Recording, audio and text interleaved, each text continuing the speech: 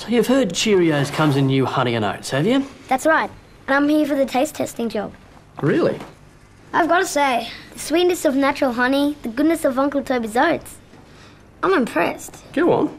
And the opportunity to personally taste every box before it leaves here. I think I'm your man. New Uncle Tobys Honey and Oats Cheerios. Try it today.